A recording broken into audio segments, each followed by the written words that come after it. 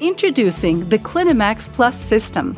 This closed and automated system makes it easy to perform specific target cell separation procedures, utilizing its enrichment and depletion capabilities.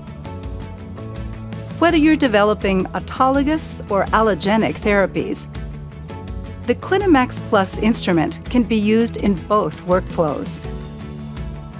The CliniMACS Plus system has played a pivotal role in the more than 50,000 clinical cell therapy procedures that have been performed worldwide from either point of care or commercial settings. Currently, this system serves as a backbone for multiple commercialized CAR T cell therapies and graft engineering applications. It is also being used in more than 150 clinical trials for NK cells, regulatory T cells, and TCR based therapies.